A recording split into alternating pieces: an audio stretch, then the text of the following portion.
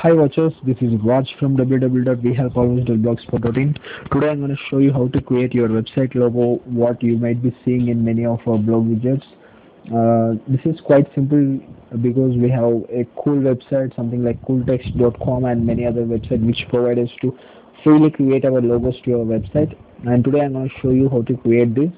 Uh, let me quickly enter into the tutorial but uh, before entering into tutorial I just want you to guys please read the description and go for the link in our article method where you would be happy to I would be happy if you visit my blog and do subscribe for amazing stuff. Uh, okay entering the tutorial all I think what you need to do is just go for uh, cooltext.com and you find all these uh, beautiful animations uh, with on, on hover effects what uh, actually it gives us. And uh, when I scroll down here is the widget what I have been talking you. Just click on it and uh, you get here something what it actually need to be. For example uh, mine is we help always.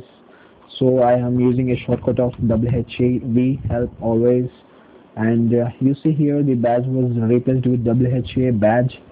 And I just want to also replace it something like uh, widgets and you see guys it's uh, replaced with an WHA widget. And you can just customize using your text color where for example you can use something black.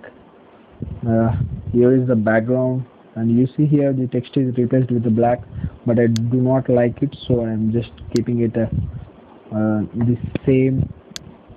And uh, here is some colors where you will be able to get some beautiful amazing uh, colors. Let me choose this and uh, here is not nice so let me now change it to black see uh, here it's WHA uh, this widget.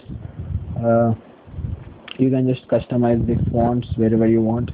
And here also the color this was the color text color and this was the background for the second part of the widget. Hope you would surely like this video. And here you can just adjust adjust this image with for example let me choose 120 and you see here uh, it would just expand. Yes that's what I have been telling you you can just also choose this auto width and uh, see that it was exactly fitted so I would recommend you to use this auto width uh, and uh, now all thing what you need to do is after making something beautiful customizations uh, you can just change your font clicking on this. You have something uh, fonts uh, you can choose them okay uh, for example this was the thing what I want. So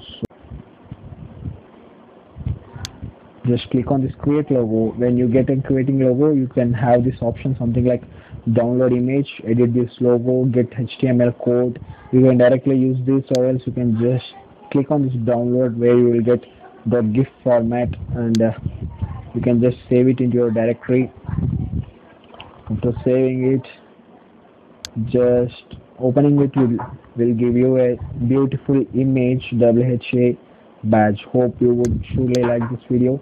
Uh, thanks for watching this tutorials. Please do subscribe visit my blog. Hope you would have a beautiful amazing tutorials. And uh, thank you guys